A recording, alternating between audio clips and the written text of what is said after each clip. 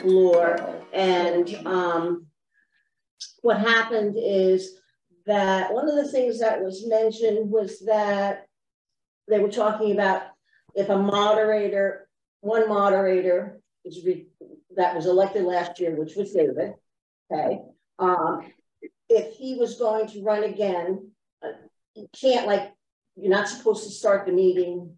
The moder David can't be the moderator to moderate his own election.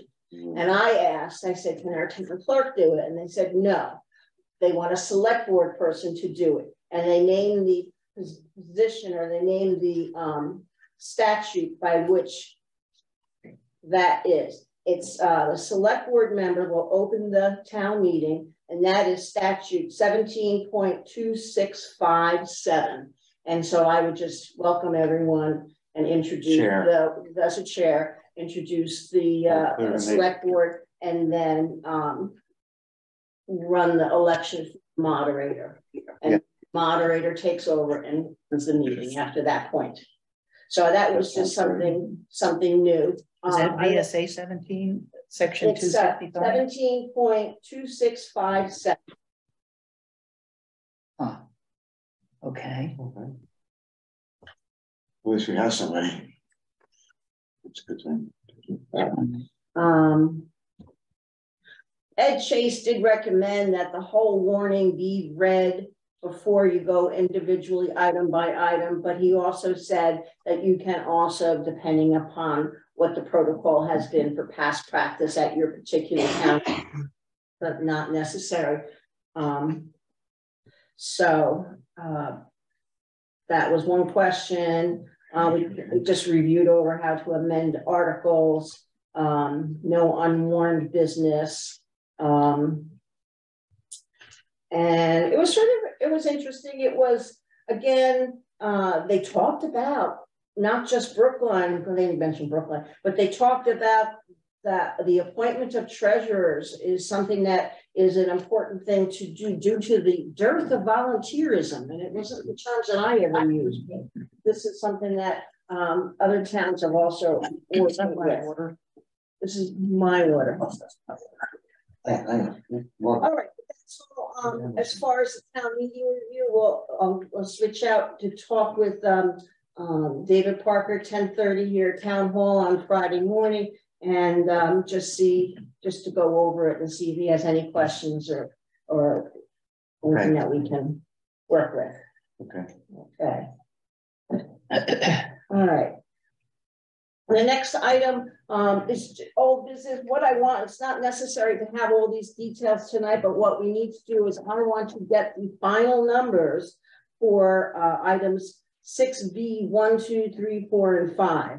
Um, I know the heat pumps, there was a, um, you know, there was, we, we bid up to a certain amount, but we didn't use the whole amount. I need to know what was actually spent for the heat pumps. Okay. And a number, if you can email that to me. Okay, I'll, I'll, okay. Dig. I'll dig. Um, All right. The highway supervisor. I think I can put my... Okay.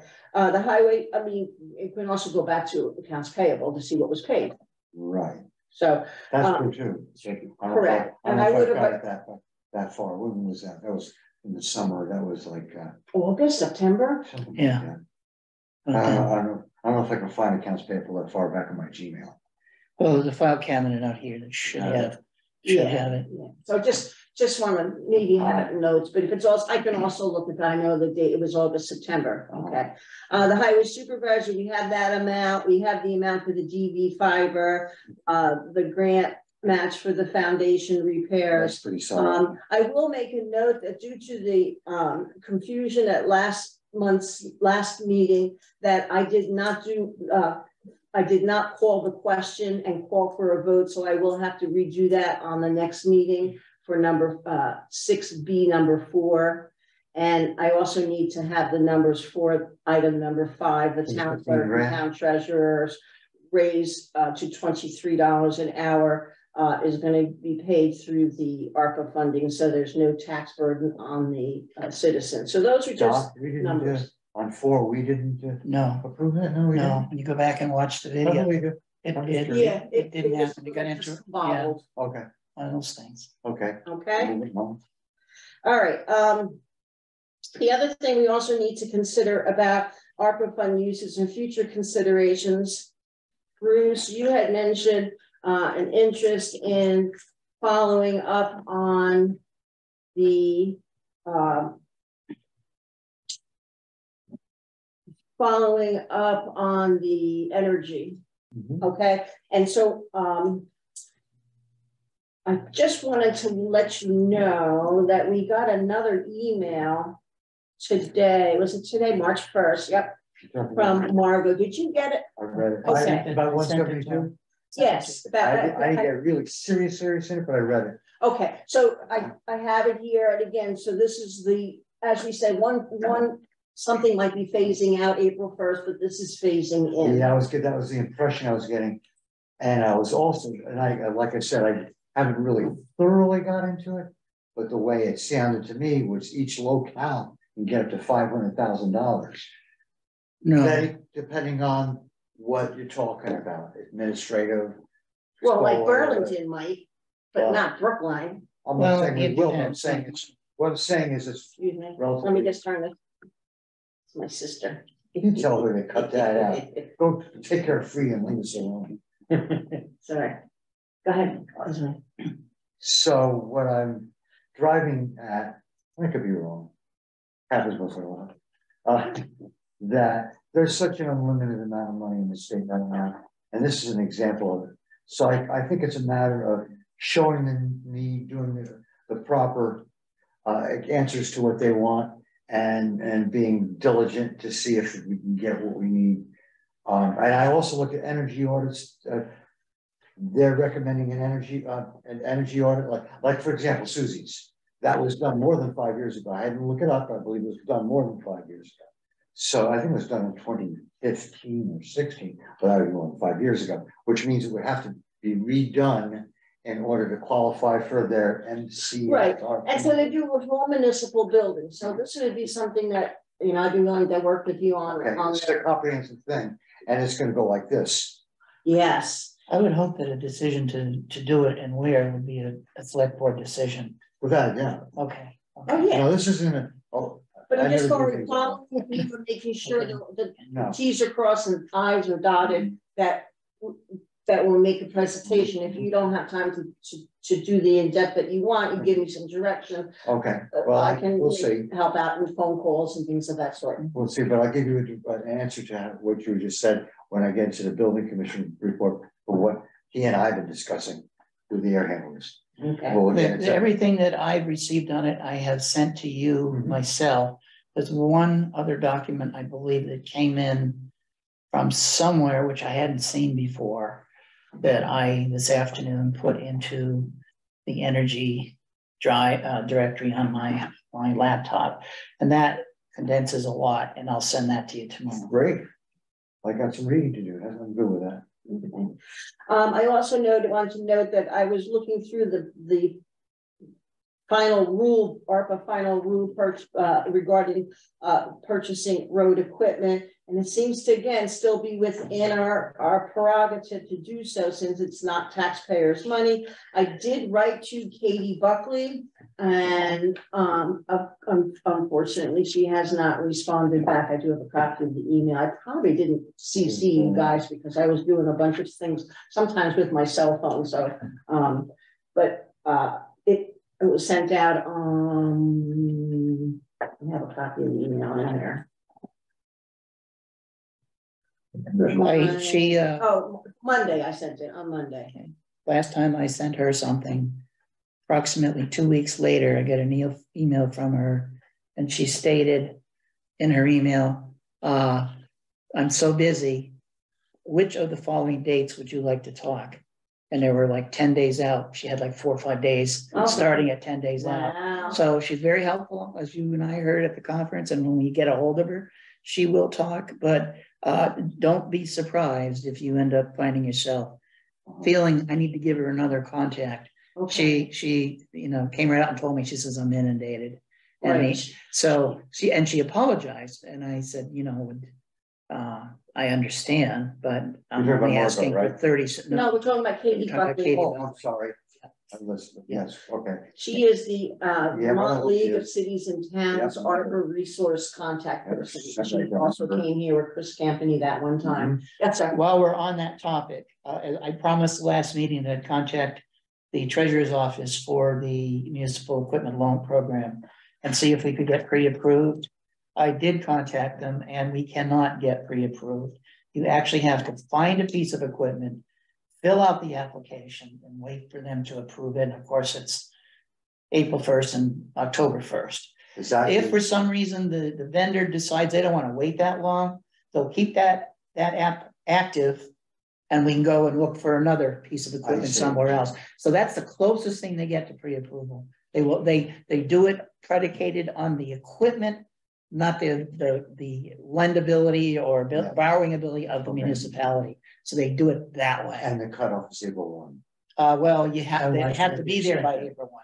That's And I looked at it and it's not too shabby except for information that we more than likely would have to go to the, the educational, uh, education, uh, group at the high school and the, mi- and the, uh, the, the elementary school, Newfane, Brookline, Newfane Elementary, and the high school to find out what our taxes are in amount Oh, I see. to the town for those two To fill- entities, to to fill- fill out the But with application. the application. Everything else should be internal to us. But the application has to be in by April one. Uh, it has to be there by Oh, the- April one, yeah, and and then we'll, uh, October one, Uh, the April one extension- this year. I'm gonna- Just to make sure I understand, we're allowed the extension if the vendor says, go to hell, I sold it. Yeah, Okay. yeah, yeah. So, um, It's seventy-five, twenty-five, two percent, right, Seventy-five, twenty-five. yeah, yeah, and there has to be a minimum of twenty thousand dollars borrowed. And the equipment has to be, uh. The life expectancy of the equipment has to match the length of the loan. So that they Oh. feel secured and covered the whole time. They won't- Whether it be a three-year loan or five-year loan. for- Yeah, they don't want a nineteen ninety-six for fifteen years, I got it. I know there's a bunch of other stuff, Yeah. uh, that I can email you if you'd like, but, but the answer is, I said I'd look into a pre-approval. Okay. Could it be nice to know we're Nice. approved, just get the equipment, say, But they're not we're applying and it's approved, you know, so they'll work wait. mark. Rather than them feel like, well, I don't know how long that will be, you know, it puts you at a little bit of disadvantage. okay. So, All right, so it's something to, to, to work on between now and, If you Well, like, but you gotta get a piece of equipment to be on the application. right, and in order to, do, we don't have to buy the equipment, but we can have a deposit on the equipment. to no, Why not? Uh, you, you're probably not gonna get someone with a deposit to wait six months. You, you gotta have, you gotta have equity. Uh, Uh, we're talking only, how long does it take them to approve the, uh, oh, yeah. can be, can be a week, oh, month. Jesus. Okay, I understand what you're saying. Yeah. Okay. so we have to find what we want. Find something, make an application, if it falls through, we'll still have the We'll open, still have the open end. open end. So I think that's what we're gonna have to Okay. do rather than waiting until October. Well, probably everybody else does that too. They have to, Have to, they have to. because it's a hot market probably. So Okay. we're marketing, it's not, I'm Um, pretty sure. but again, that fits in with the final rule and what I heard from the Okay. LCT in the past. I'm not looking for more work, but if I could ask, add one more thing. Yes, Uh, You asked on the website, you- there are, uh, the six month periods going back about six, seven years. If it would be, uh, uh, putting our minds at ease, I, I, I would find it, so if I called one or two of the towns that they went to and asked, what did you experience from the date you got approval, how long to close? Whoa. You know, how long do you have to wait? So that so Uh, we have some kind of concept that allows us to know whether we need to do something between now and April first a or, good or whether it's gonna end up waiting for months anyway. that's a great idea. Yeah, idea. it is, it Stan. really is. Yeah. I hope you enjoy the work. I'm. That's a great idea. You need me. I was also, um.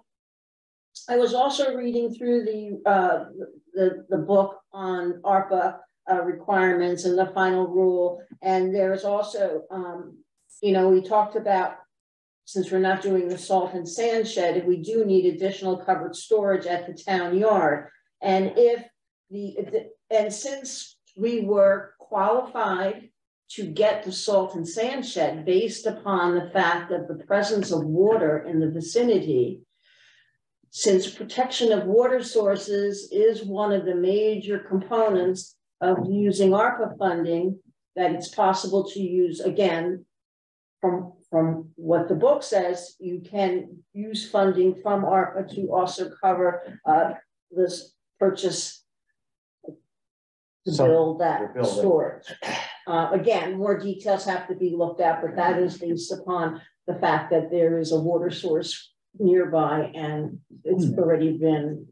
Something, they'll that- just say that's okay, kind of, there's a book and okay. there's, there's chapters in it, and that's one of the chapters that covers is if you're going to be able to protect the water source by using ARPA funds, there may be additional ARPA funds from another program that will dovetail in. So I'm saying that the opportunities, like you said, there is a spider web out there, and we're sort of just getting through it. Yeah, It just involves a lot of, a lot of uh reading and such. uh-huh, All right, so those were just items that I wanted to point up, point out to you. And um, if we could get, uh, see all those numbers, uh, because we have to, after April first, we have to go into the portal and we have to, oh, ladybugs, those things are, round circles. Yeah. um, Oh, at between April first and April thirtieth, we have to submit what, what ARPA's have been obligated so Oh. far. so far, Correct, for this,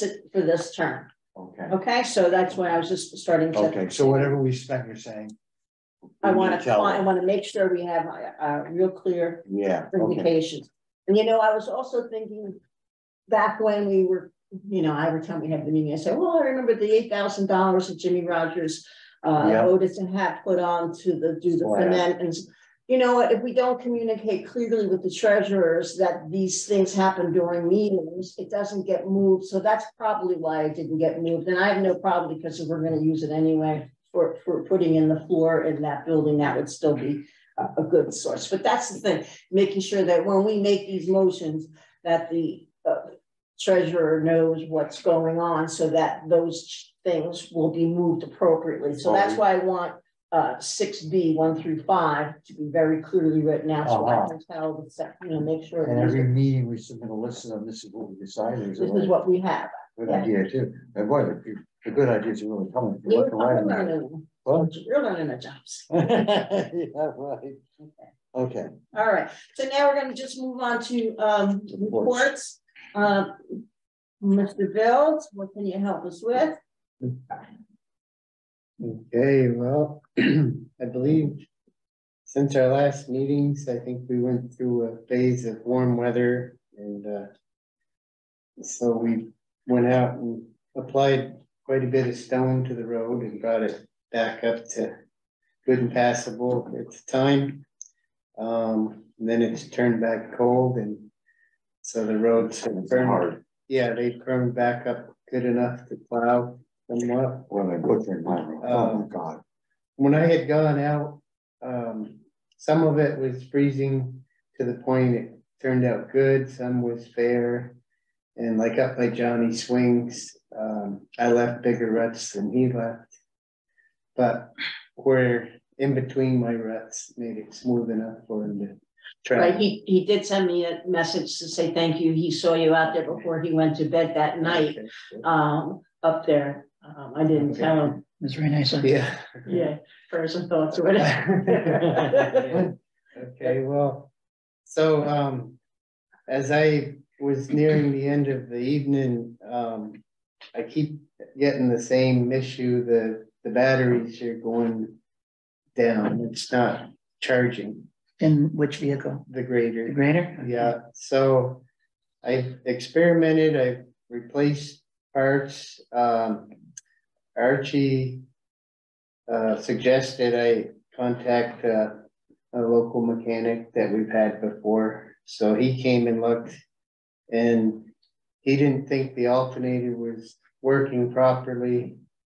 Doesn't think it has enough output amperage to keep up when I'm running all the lights, there's like Is it did, yeah? a dozen, and then I run the heater Did he, did sometimes. he have a gauge and, and measure the, what was the output of how many volts? Uh, it was putting out twenty-eight point some, twenty-eight point four volts. Ooh, Uh, Really? when it was charging.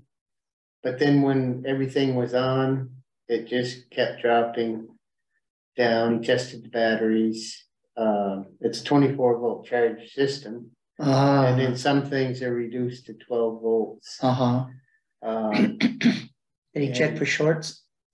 I believe he did. I, I had him install a master switch, Yeah, which, uh, cuts the batteries instant. You can, if you have a, a short or uh, you can disconnect the batteries by a turn of a switch. Mhm. And, um, one of the reasons was, uh, I've been charging the batteries with a battery charger when I'm not operating it. And some, there's somehow the battery goes flat setting. Hmm. So with this, uh, master switch, I can charge them, turn them off, they'll hold the, the power. During the daylight hours, when I'm running the equipment, I don't use much of any electricity other than to start it, just the strobe light. Mhm. At nighttime, I have like eight.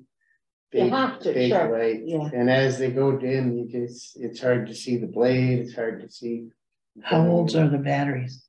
Those are only like, I believe, three years old Really? right now. You know, What make, what- what are they, are they rated for any length of service? They're uh through John Deere, so um. If they're, if they should go bad, I believe they're still under a warranty. probably a warranty. Okay, Yeah, okay, What I did with my, I, I had his old car, I went through this whole spiel in the fall, the alternating battery, the alternating battery, the Right. alternating battery. Yeah. And the trick I found is you get your battery up to charge. Then you disconnect the power off that battery. Yep. Go out with a multi-tester the next day and see how much it's dropped. In fact, I'm doing it now because I, thought I was doing it again to Patty's car. Just bring out my multi-tester, because it's 12 and a half volts in, in, in the car. Yeah. And, and in three days, it's like twelve point four, so it's fine at this point. yeah. I don't think it'll last, because I had to jump start the car mhm, and I had left, let it sit for over a month, so I didn't like that. And there's only Yeah. one little light on it, but it's probably, ju- as soon as you touch the cable, it's gonna start on. So I guess what I'm saying to you, Mark, is if you disconnect the, the positive to it, Yeah, go out there, check, charge it. Yeah. Get it up to what it's supposed to be. Check with the multi-tester, okay, you're at 12 and a half volts or twenty-eight or whatever it is, how many batteries in? two. And, and that's good. that's good, okay, and then you disconnect the power. Yeah, next day you go back out with the multi-tester. yeah, See what I it reads. I kinda did that this morning um with that new kill switch. It basically, it takes one of the heavy battery Switch. cables to the ground. To the switch and then from the switch back to the ground on Okay, it's the the same battery, thing. so it It's the same thing, opens and closes that circuit. nah, same, So when I first put my meter on there, it was uh twenty-four five. okay, I started it and took another reading and it was down twenty-three nine, twenty-three and eight. while you took that Immediately. reading, while you took that reading, the alternator was running. Yes, So when you put your contacts, Whoa. your leads on, it was on the positive and negative terminals of the batteries. right. It's should going like this. Sounds like your alternator's Yeah. failing. Well, the next step is the regulator. That- Regulator yeah. is Mounted to the back of the alternator. Yeah. And I'm thinking that maybe that's uh. When you start it, like, It opens and closes to regulate. that. Yeah. Yeah, when, when I started my car the other day.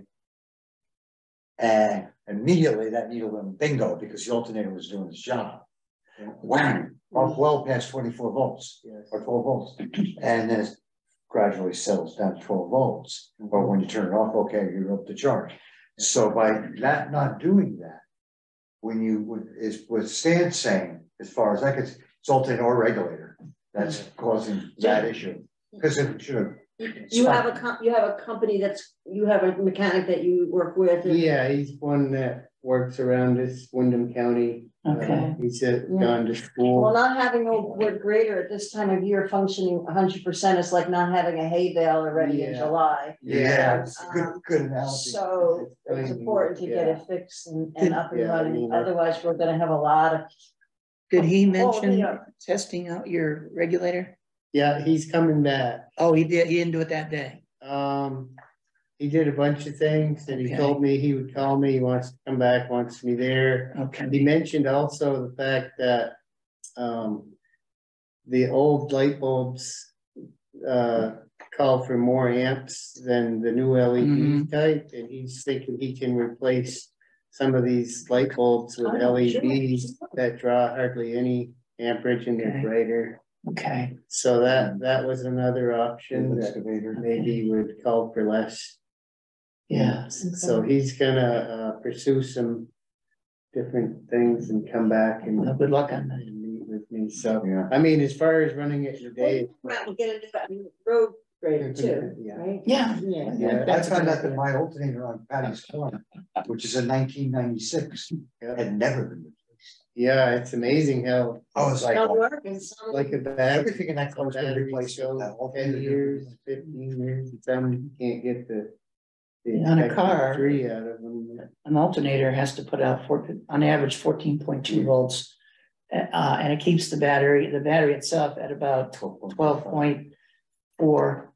Yeah, so there's not much difference. It's only about two volts different coming in. Right, With eight lights or whatever, I'm not sure what that alternator should be rated for. Uh, Is there a manual that's uh, the one that's on it's like twenty-two amp, It is, yeah, okay. and then. uh, Well, and you need twenty-four in batteries. Right? You've added, need 24. so you're at a disadvantage to start off with if that's the case. Yeah, Maybe you need a different, more powerful alternator. well, that was what this mechanic said. There's Yeah. He, he was already starting to look and he found one that was forty. Uh-huh, Forty amps. And Wow, that's a lot. so Jeez. he was gonna. it is, it might be hazardous. You know, being battery. twenty-four volt, there weren't a lot of different options. Yeah. If you basically had to go with what John Yeah, said. yeah. But he's got two stands. Yeah, But he thinks the, this, uh, alternator has an internal regulator, might be cheaper than Mhm. with John Deere. yeah, Great. So Yeah. he- And correct me if I'm wrong, but isn't there, uh, there was. About five or six years ago, we also made a motion that for every hour the, the grader was run. That would be money would be set aside for its repair. Yeah, that, Oh, really? Yes, something, Huh. uh, I don't know, Jimmy Rogers. Jimmy Rogers, I some- I remember some things and I don't remember what they actually. That's twenty fourteen. I know, To put towards Elephant brain over the here. machine down the road, I guess. yeah, something, along those- I'm not sure, uh, I'm gonna ask the treasurer. Yeah. About the, uh, grader, I mean, maybe Hourly. Newfane has a similar deal with their own, cause I know that most towns do have a. An upgrade replacement plan every. and, and that's five- anything that we get, that would be a part of the plan. Yeah, To always be able to slowly build up to, for repairs and replacements, um. so you going have trading value. Okay, well, good luck with the equipment, I'm Yeah. listening. Yeah. I, I know that, I'm sorry. No, it's, uh, I can run it either way, I, I can charge it. And it'll stay up, you know, while I'm out on the road for eight hours, I, I've done it. But the before. nighttime with the lights. The is nighttime is the tough one and, and being that mud season's coming in, I do a lot in the middle of the night, so. It'll be a good thing to have it. You know what it might be uh, worth doing is when you have a day where you're booked late lightly. Is just check all the connections uh-huh. on all of the draws, Yeah, you know, all of the lights, because it's almost sounding like there may be. A, uh, a ground on something that's siphoning off power. That's yeah, possible. I, I unhooked today and put a test light. uh, Into the ports To Yeah. to see if with the key off, if it was back feeding, cause sometimes inside the alternator, there's diodes that. Yeah. Allow electricity to flow one direction only, and Mhm, sometimes one will burn out out of like six, Yeah, and uh. Even with, it'll charge during the day, but when you, you're shut down, it'll drain your battery slow, and I thought it could be that feature too, but um. I'm pointing more toward the regulator or. This The is, regulators in, in the, in the alternator or on the back? well, some are internal and some are mounted on the back, and, and right now. This machine is mounted on the back of the alternator. Oh, good, so- So it can be replaced, rather than replacing the whole alternator. right, so, Love to know how old that alternator is. Yeah, uh, No way to tell that. no, I think I have a record of that, Do you? yeah. Cause that's before you, wouldn't it be? Um, don't no, remember? I think we've, we've had to replace batteries and alternators. Okay. in the past. You've been on board sixteen years or so, Yeah. so. We Sixteen? put heater cores in it shortly after I got it, those were like Think seven that would be hundred Worse dollars. than us. They, uh, yeah, that when I first started driving the grader, the, the heater cores, like little radiators under the seat, the, Mhm. the fan blows the Oh, heat through. Nice. And they were rotted from corrosion. Sure. And that antifreeze smell was, you know, you got the door shut, and it's all you could smell was hot steamy antifreeze and. I finally got the board to approve, but it was like seven hundred dollars for the two.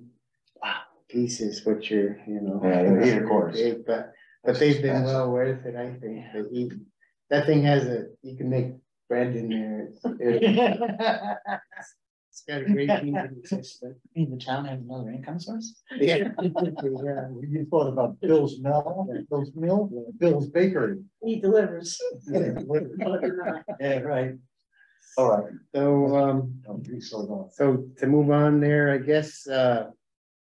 Roads have gone back to just winter maintenance, uh, a couple of trees down in between meetings, um. Let me see, I, I did get a email, Stan with a list of machines I kind of looked at. Uh, and then I did a little bit more exploring on my own. I've got some information coming. Um, I was in hopes it would come today before the meeting tonight, but it sounds like within the next few days, I'll have some information on some machines and prices, and I've asked for their finance, uh, programs Mhm. and, uh, different, uh, questions on the, Yeah, if we get something that looks attractive, we can do the application, this would be ideal, and then if it doesn't pan out, but if we. Some of these machines were too big, your email was saying that Yeah. would be too large for the road system, that. yeah, um. See, Newfane purchased a brand new Caterpillar and I'm not sure which number, they start at three twelve and go to like three twenty-two. The model size. Mhm. And after they got it, nobody liked to run it. It was always, uh, when you, you had to be in the opposite lane to work on the ditch Oh, wow. that beside the road. It was just, the size was big and the boom was always, you had to be very careful, you're not swinging into the wire. You're watching your bucket, the booms were Yeah, tall. And so they, it more or less, I, from what I understand, it sat in the yard more than they used it. Huh. They had a mower for it. And I, I believe this is the machine that you had to be sitting still and mow with the mulcher. You couldn't mow going down the road. It just wasn't designed that way. wow. And, and I heard that just recently, they, they traded it in and upgraded it, uh, for something different. So, All right, that makes. so I, I looked at the weight ratios on those numbers and they were started at like thirty-three thousand pounds to eighty thousand pounds. And you know, those size machines are great for a little bigger highways, but I think for our size towns, uh, a more of a medium duty machine is ideal. I, I've, I have rented through Brookline. Just like what Wardsboro had, they had a twelve thousand pound machine. And it worked pretty good, but it was kind of tippy on, you know, if you picked up a scoop of material out of the ditch. And went to swing with it lifting, it would try to tip the machine Wasn't heavy. it enough. wasn't as stable as a Mm. bigger machine. So there's kind of. That was twelve thousand pounds? That was twelve thousand. And so what, what did you suggest that? I, We should be I'm in the range of thinking twenty to twenty-five thousand would be ideal. It- From what I've gathered through rentals through the town, um, loading in, in, in and out of a truck, um. That, like the JCB size is, seems to be ideal. It's, it's more stable. You can reach from one side of the road to the other. You know, if you're cleaning the ditch and there's a place that you can put it, you don't have to move each, each bucket.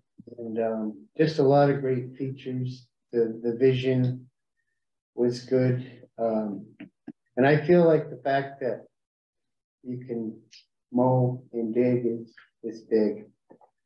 Uh, in that medium duty size machine. So I've, I've done quite a bit of, uh. Online looking Great, and, uh, thank you. That's great. Yeah, uh, you know, looking at service and parts availability is a big thing, Mhm. but, um. Right, right. And so I also contacted. Wardsboro has upgraded from the twelve thousand pound machine to the twenty thousand. Oh. Stratton has done the same. They got rid of a, they traded a backhoe.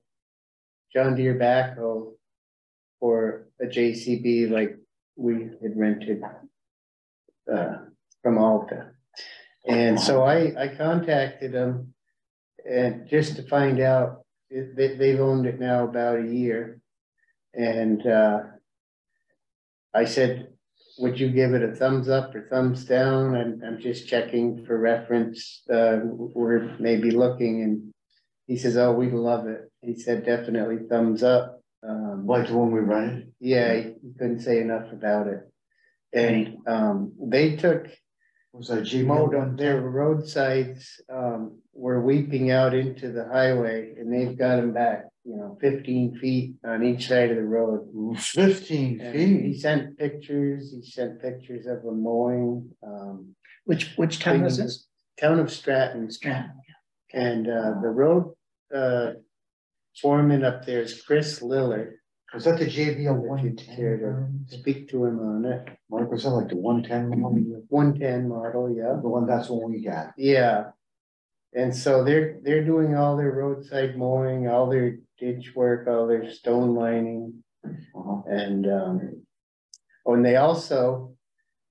Uh, purchased a Buffalo leaf blower and they had, uh.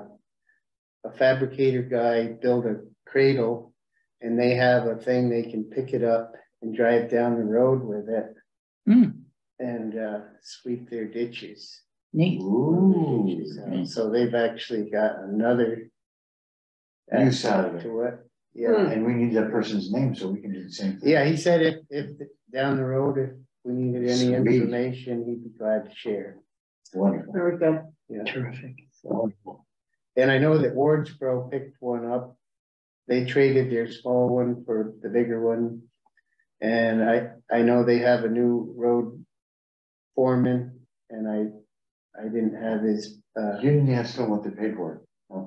I didn't, because one, both of them were trade-ins. Oh. And Yeah, I don't know. I'm not sure Stratton bought brand new or, or secondhand. I know Wardsboro's was secondhand, Hmm. so, um. So anyway, I've got information coming on uh, availabilities of what- whatever these companies have.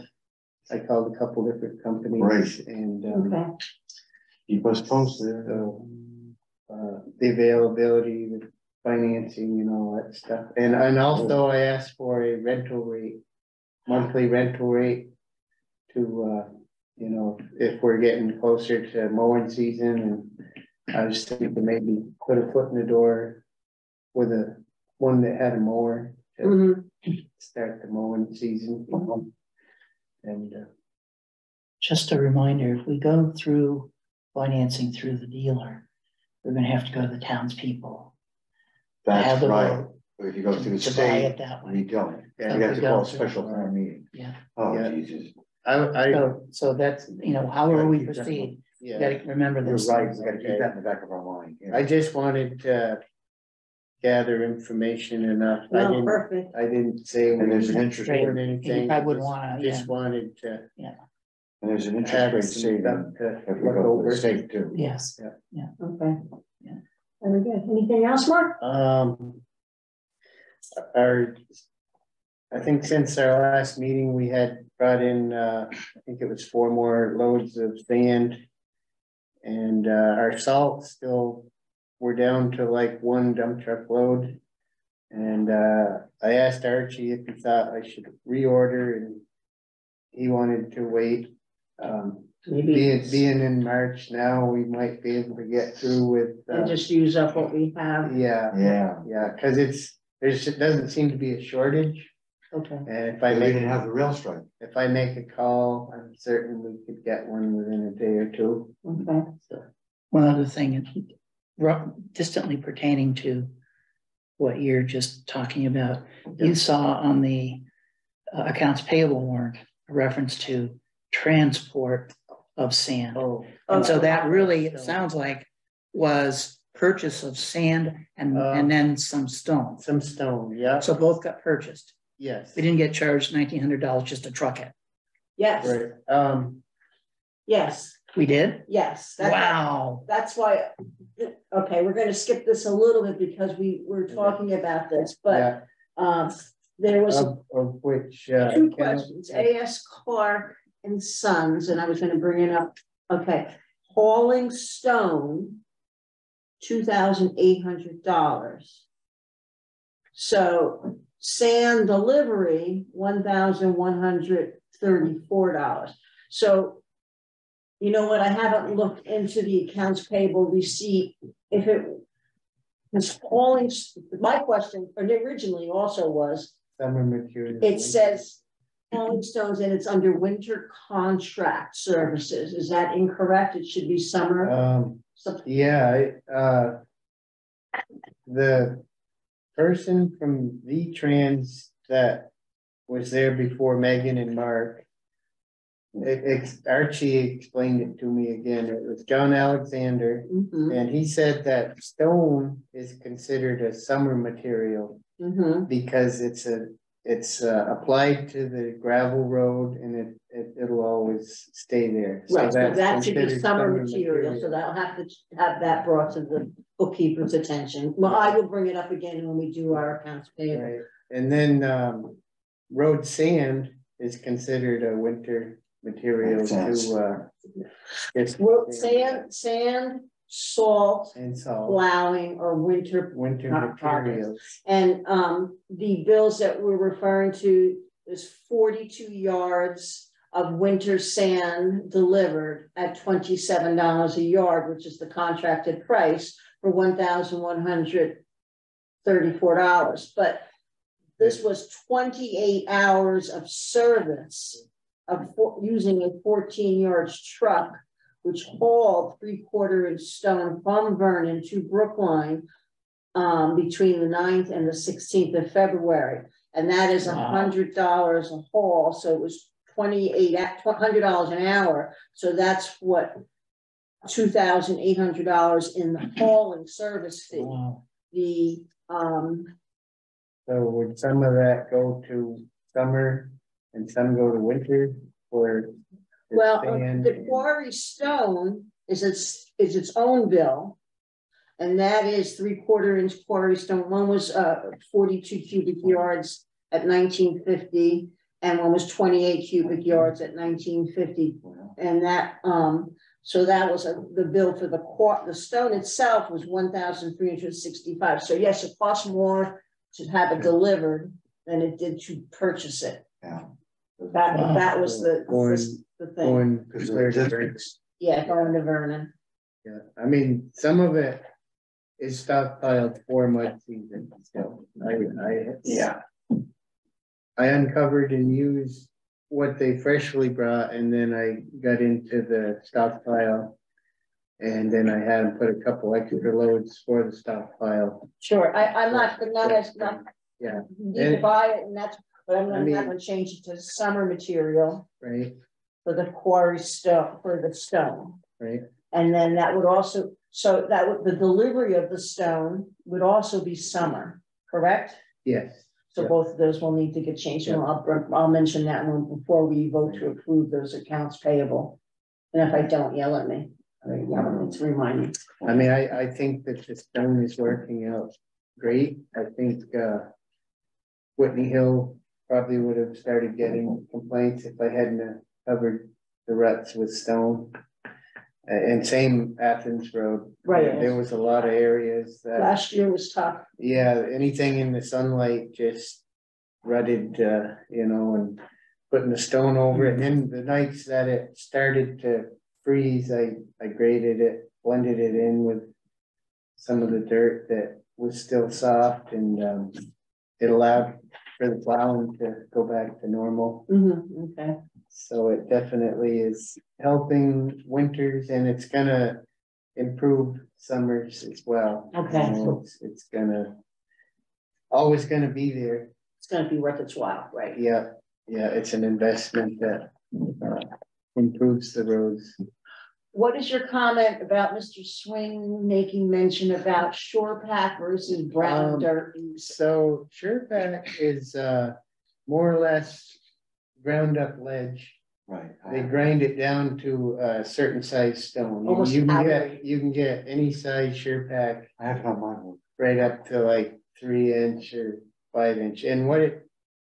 The gravel that's in it is just the refined dust that Mhm. crumbles the, the real fines out of the crushing of the stone, so. It's really fine. You, you apply it, the first time it gets wet, it's, it's almost like muck, it's very slippery, it's, it's like concrete. Uh, almost Slip, yeah, it's like a slippery, slip. line It's like a a lip. Y in it. Once it, the water dissipates out of it and it tightens together, it does get a lot like cement. Once it dries, it, it Part of the holds its shape. But still, throughout the season, you're gonna get moisture into it and it's gonna expand. And it's still gonna, you know, stay good until you get an instant thaw. And you're still gonna get that mucky until it settles back down and tightens in, so. As far as color goes, a lighter color doesn't, um, thaw as quick as dark, Oh, dark color. It's, it's the sun hitting on that darkness that. Like a piece of brown bark on ice. By the end of the day, that brown bark will thaw down through ice and, um. Something, it's like in the summertime, you wear something light, white is cooler, reflection. dark hotter. But, but you're always gonna have moisture content in your soil, regardless of what it is. And it's always gonna freeze and thaw, and you're always gonna get softness. We just had some questions from Mr. Swing when the- his road was collapsing under those very warm days. Mhm. And um about the materials that were, could be improved the road, and we talked about it, and and that was one of the things, I just wanted to get that out, that it was a concern, but I think.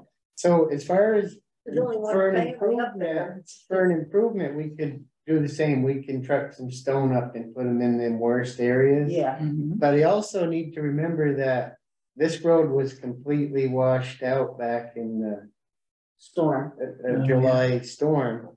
And anytime you rebuild a new road, it, It's gonna it takes a long time for it to, I to, never to thought of tighten that. in.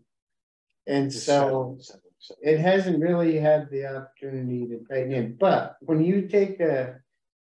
A temperature of fifty degrees away from frozen ground.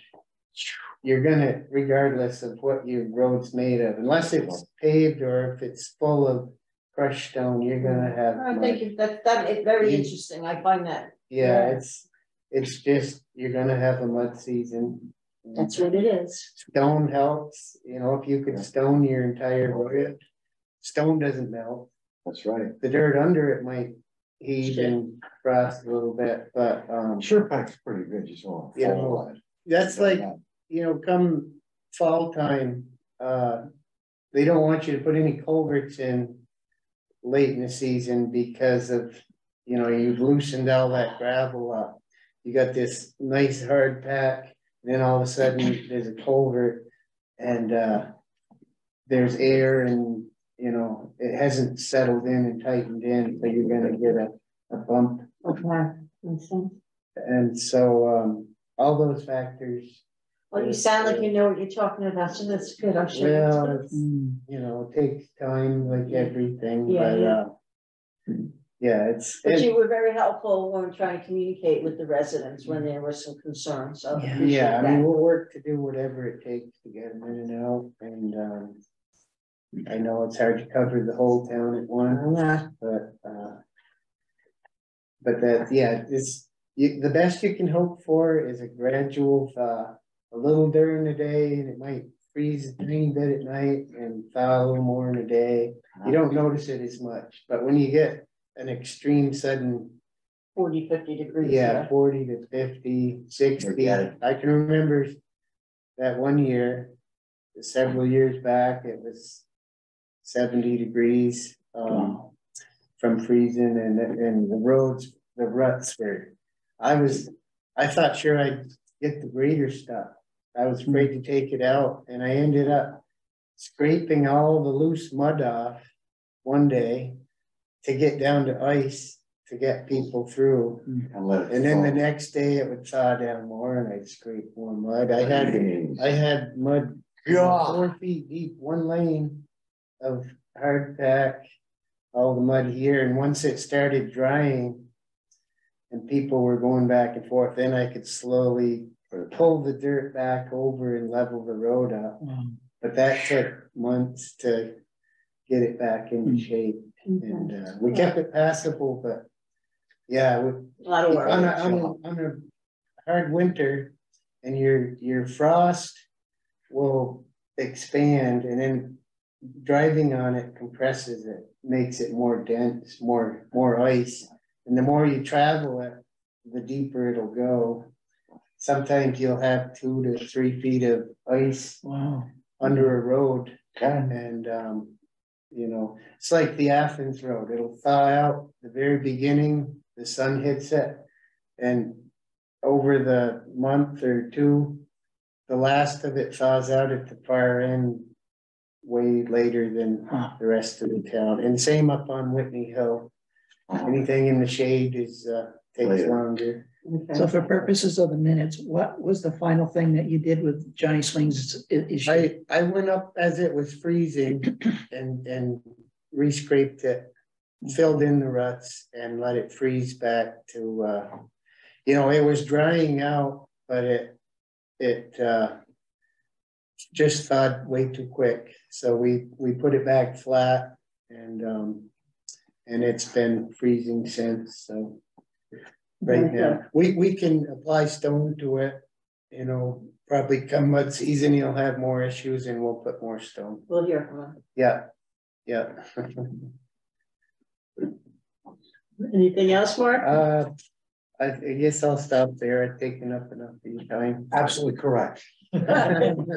Bruce. Okay, uh, Stan? Uh, highway grants, Yes, yes, uh, after our last meeting, uh. I I sent an email to Mark Pickering about the. Uh, fact that there was no road work scheduled or anticipated that would interfere with their center line painting. Uh, I sent a copy of the town report to the Vermont Archives Division oh, and got right, acknowledgement that that's been done, right, David did too, okay. Uh, David Jones, Oh, he did? yes, Okay, okay. Uh, let's see, I sent Jeff Nugent a copy of our culvert policy based on the fact that there was an exchange between you and he. Yeah, He acknowledged that, as a matter of fact, today I got a response back, thank you. And he said he'd like to meet with the highway people in the next uh, several weeks. Uh, I printed out, filled in and need signature on the certification of our roads being in compliance with uh, state standards. It just needs our signatures. It's got today's date on it. Uh, we haven't sent that in yet, I don't believe. I didn't have it available last meeting. Uh, it's it's something they want sooner rather than later. perfect. Okay. Certificate of compliance, okay, thank you for setting this all up. Mm-hmm.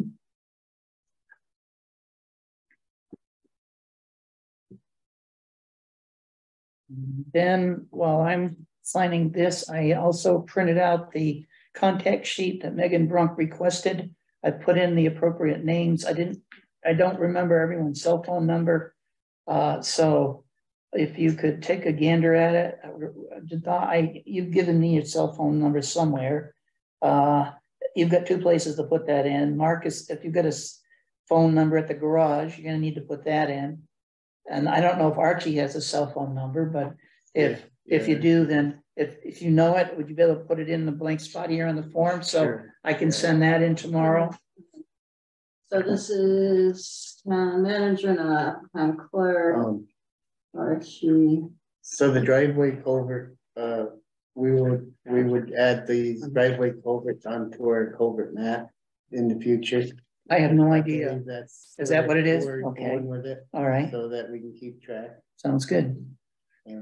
Sounds good. We, I didn't bother to bring, it since that didn't come up between he and I, Yeah, and you said you were gonna look into it. I didn't, I didn't bring it up. I figured whatever he told you is yeah, what we're gonna do, whether it was a free service or whether it was part of a pay service. that's right. Uh, You don't have a, you don't have a phone at your garage, but you have it at your house, so I'll just. yep. home. If you know Archie's, that would be good too. okay.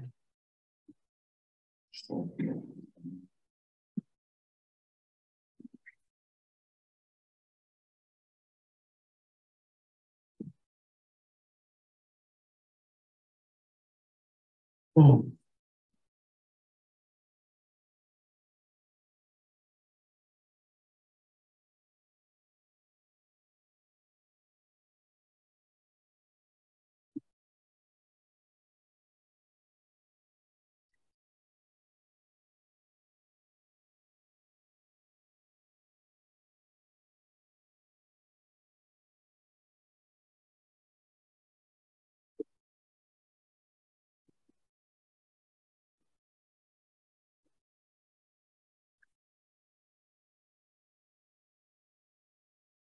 I think that's If it. you guys, uh, cell phone was three eight oh sixty thirteen, I think it is.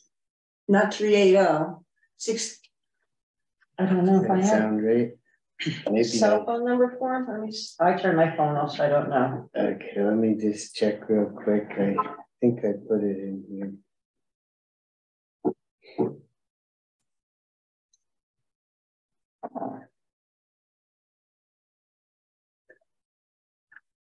I got three six five forty thirteen, That's his home number, that sound right? yeah, it's his phone number, three six five forty. Should Whose I, home number? guy, Oh, I don't know. you've got guys on there, I didn't know if you wanted his home phone number. If it's, if it's required there, please. He has a cell phone too, but I don't know. Uh, about Good enough. That would be a three eight on a eight, Yeah. eight phone number. Okay, thank you. So I will, I will uh scan this in and send it to Megan tomorrow. She emailed, Megan emailed me and said that she uh acknowledged uh my inquiry as to what uh we needed to do to make sure we didn't have any outstanding grants and also a timeline for the TA sixty form. Uh, she's, she emailed me back, she gave me a number of dates. Uh, they're all this month uh, March, March thirteenth, March fifteenth, March seventeenth, and the like. What I'll do tomorrow morning, if not before I go to bed tonight, email you that email from her. You did, I did, Yes. okay.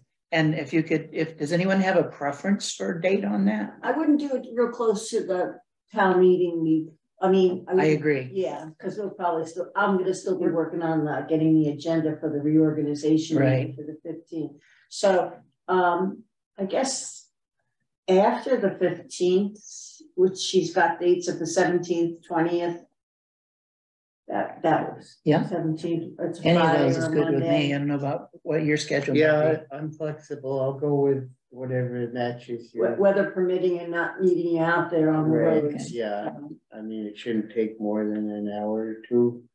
I wouldn't imagine. So, Actually, I, after looking at that, went back and looked at the one she filled in last year. Okay, And I'm piecing together from our fiscal year twenty-four budget, the numbers that need to be put in for the one that we're gonna do with her. So that it So that, easier. so it, it, it, it, if we don't have it done by the time she gets here, it won't take Take very long, long once she's here. sure. Okay. yeah, So, yeah. uh, trying to understand how that's filled in, uh, to just save time and work in the future. So, so anyway, uh, Anything the seventeenth, that she has the dates the 17th, 20, 21, 22, 24. those are all fine. okay, As far as I know. Well, the seventeenth is a Friday. Is there a day of the week that's better for anybody? I'm flexible. Friday's good. You wanna do the seventeenth or the twen- or is the twenty-third or fourth one? A possible date on that list? Let's, I'd rather get it over with. Okay. The seventeenth. Seventeenth, I'll suggest that then. All right, and if not, backup would be the, the twentieth, Monday. Okay. Any time of the day, uh, morning versus afternoon? I guess mornings are better. I think last time we did it was like ten thirty or eleven. Yeah, I, that's good. Morning. I'm awake and have my coffee. Okay, whatever she responds with, I will send along to, you don't, you don't want to be a part of that, right? I don't know when I can be here because I got doctor's appointments all through the month Okay, of March. okay, okay. All right, so I'll just send along I whatever I she have a says. at home, but I'm not sure. Okay, I know the eighth, I gotta be, I think it goes the eighth. And then I think the seventeenth is the next one. So I'm not sure. okay, all right. So let others know. Uh, I then did an email to her indicating that one of the emails from Mark Pickering mentioned road structures grant and a highway class two grant. And asked her for information, if she could elaborate on just what those were. I actually went into both the A and R and the AOT websites to try to find uh, uh, in their website, a location to find if we have any grants that are currently outstanding and pending and or what grants we can apply for. And I, I couldn't make heads or tails out of it. So and I'd like to get her advice and or Mark's and uh, Mark Pickering. And, and uh, if Jeff, if, if those questions get answered before Jeff gets here, uh, what we need to do on the grants and aid that's been approved for the twelve thousand dollars, we need to decide where we want to use that money.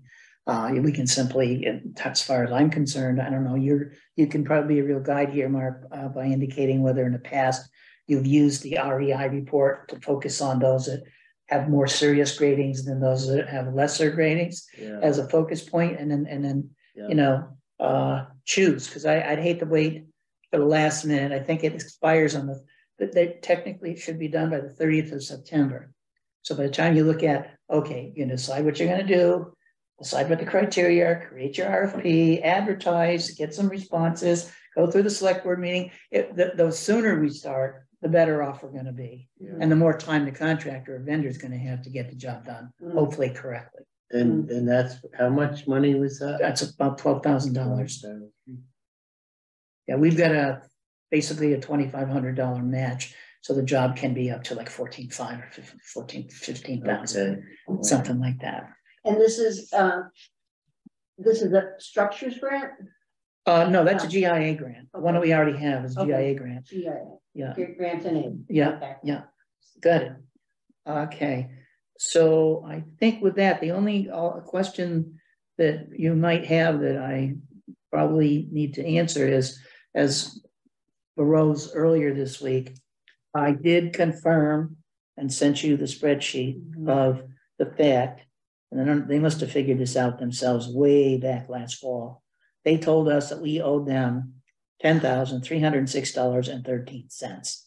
And that's what has been reimbursed to us in the expenses that we paid. Okay, and because uh, we, we have already paid our match, we don't get, obviously, we don't have to, we've already paid it to somebody. And all the other amounts of the grant that we haven't spent, of course, that's gonna go back to them. So all they're really looking for is money that they gave the town. That they reimbursed us for. Uh, because we've already paid in the match amount, so that's just what they reimburse us that they want. Uh-huh. And, and it is accurate, I'm gonna assume that the nine hundred and fifty dollars and forty-nine cents was returned to the town as a reimbursement for the last four months that we billed them for. So that's the number, if we get asked at a town meeting as to what the, the payout is for getting or backing out of the salt, sand and salt shed, that's what we owe. That's it? That's it. Except for the twenty-six thousand dollars that may or may not be billed for us for all this background work that we never saw. It's not gonna look that we never saw. Yeah, That's nor were we ever told about it as far as I can see in any of the And agreements. they haven't told us that, okay, Okay, interesting. Thank you. Now, We Don- don't even know if it's been done. uh, well, I, how do we know? You know, we're, we gotta depend on somebody. Yeah, Uh. I understand, as I mentioned in one of my last two meetings, when I was participating in the VLCT seminar, they, the state, are required to pay a match for every grant they get from the federal government. That twenty-six may or may not be their match. I don't know. Chris said when we were, uh, Chris Hunt, and Dot and I were interfacing with him on a Zoom meeting with, with, uh, um, Margot Gia, said that it was for, for expenses for the various departments that went and reviewed the permitting process, the progress, uh, and the site and, and the diagrams, and that, even though it was done by an engineer. They get, they had to review it apparently. I have no idea how that, what their pay rate is. I have no idea. But, but when you're looking at the party that gave you the grant in the first place and assisted you in getting it, I, I didn't think that, you know, I- I mean, we could, the board wants to say, prove it. Prove what the twenty-six came from. If you want Oh, to do- yeah. go that route, we, we can do that. I'm a, Now, but, but what I, I, I, thank you again for doing all this, and I think we were Yeah, communicating that's work. email, and I was like, well, I think, uh, Miss, I didn't want you to think that I was challenging anything that you were saying. They have not invoiced us yet for that amount, so the ball is in their court at this time. We Yeah. have, a we, yes, okay, that's. I all. went back and looked at some email exchanges. I put all those in a particular directory in my computer. And one of the, one of the parting comments that Margot made to us is to, to the town. Was, and it was focused on me because I was the one that said, I thought the town ought to check what is owed to make sure that we all make mistakes, that what they say we owed is what we owe them. And she said, we'll sit tight until you finish your review. So it was with that knowledge that I figured I had to go through it. I would rather not have had to do any of it. But the fact is, we, we should question them. I, I did question it and I did determine that they're accurate. So I suspect that that will open the door for them, at least as far as Windham Regional is concerned, Mhm, to proceed. mhm. I don't know how Chris Hunt is approaching this. I understand that he's waiting for info or an okay from the director of ALT on this. And that's the guy that's gonna decide if it's, Who pays? when, when it's terminated, who pays what? And we already know we're into it for 10, 306, 13. We don't know anything about the rest. Is, uh, is any of that number part of the engineer, uh, Well, wrong, Ron Bell? Uh, Engineered blueprints that were reduced and then the We, It's a mix, uh, Mark. It's a good question. Uh, To get a good understanding of it, you're, you're going down a good path there. Um, way back in twenty twenty, Ron Bell, uh, assessed the town seven thousand nine hundred and ten dollars for his initial work on the, uh, design and the particulars of the lot, slope, et cetera, et cetera. Agreed, yeah. Yeah, along with that was required a two hundred and seventy-seven dollar and fifty cent. Uh, review by the lawyer to make sure that if there were any rights of way required as a part of this project. So we don't interfere with easements, et cetera, on the road. We got, we billed, we got billed for that and the town paid that. So we, we billed the, we got billed for the two seventy-seven fifty, we got billed for the seventy-nine hundred. Uh, and in the, back at, in that time frame um, whoever was representing Windham Regional with us, I don't think it was Margot at the time. They billed and we had to sign off on it. The state of Vermont, through this grant, this two hundred and ninety-seven thousand six hundred dollar grant, to be reimbursed for eighty percent of the seventy-nine ten and eighty percent of the twenty-seven fifty uh-huh. there were a number of quarterly charges by Windham Regional that tallied up, I think, that in my, in that Mhm, spreadsheet, mhm. roughly seventy-nine hundred dollars.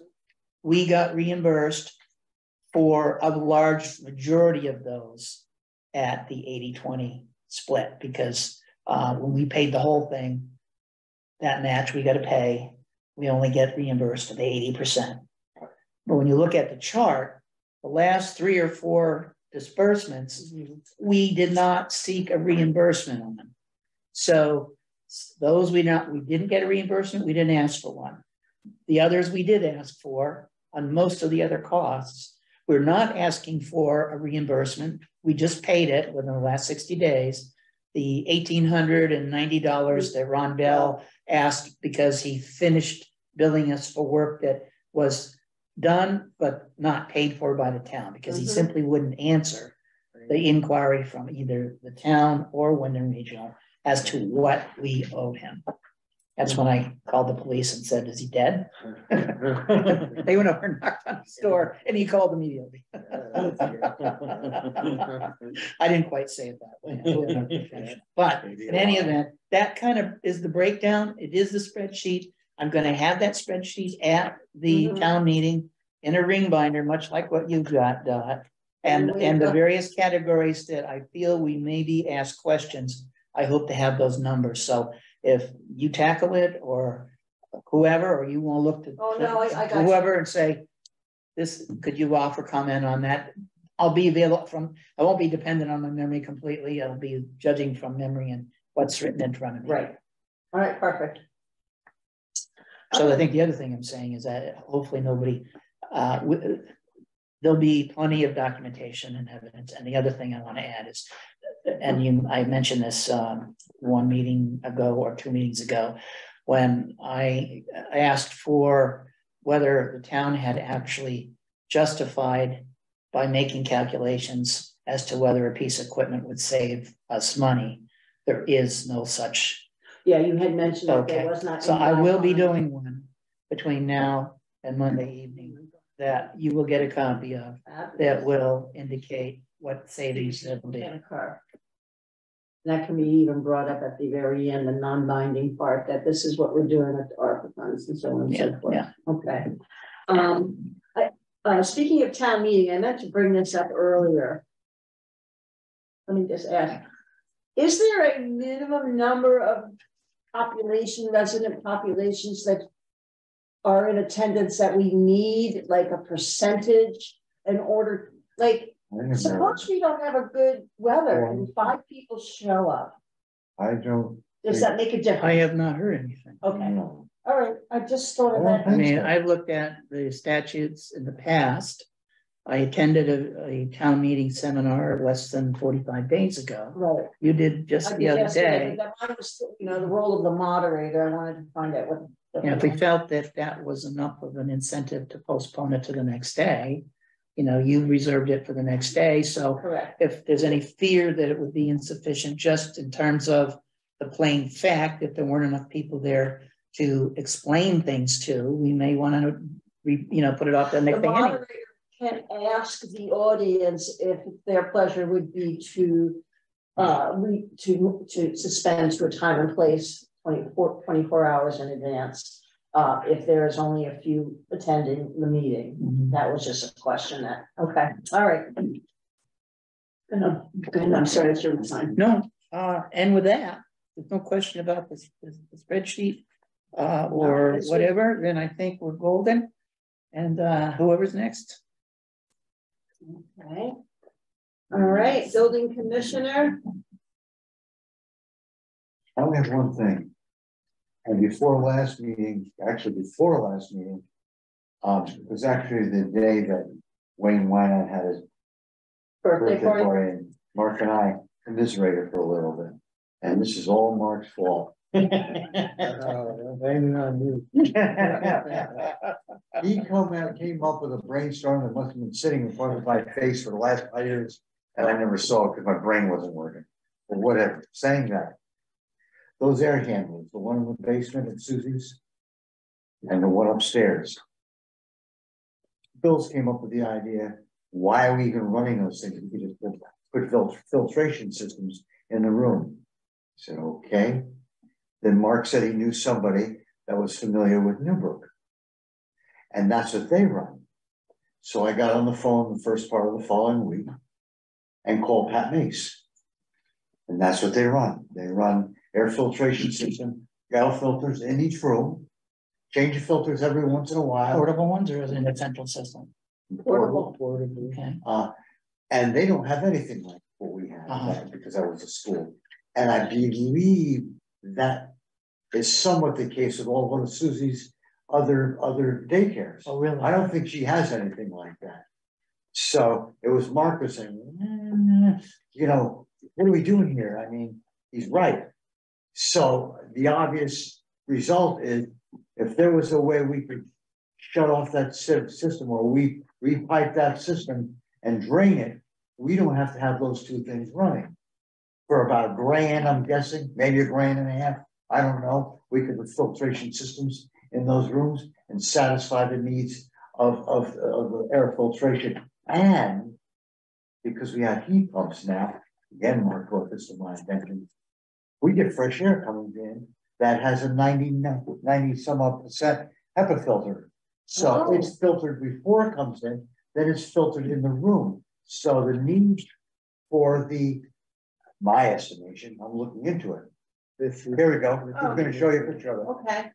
Well. And I'm gonna, I'm gonna give you some Yeah, information in yeah. the email. very I just saw simple. one over the weekend like that. Yeah, there's hundreds of brands and they have a, looks like a truck air filter. And you tip them over and the cover pops off on the bottom and the filter's this long. And it filters ninety-nine point nine seven Wow. percent of all uh, particles out of the air and, um, and not only would that cover the central air, but these new heat pumps also filter the air Yeah. that's going through them, and there's two filters on each heat pump and Cleanable filters. In fact, Mark, I went out. So if you don't have to use those air handlers, it puts less of a strain on the boiler system because the boiler runs the air. Well, I don't want handlers, to or what? strain, but it cuts down energy. Okay, I don't you all remember? Back in, in, in Earth, that's with the filter out. Oh, yeah, wow. but, uh, Neat.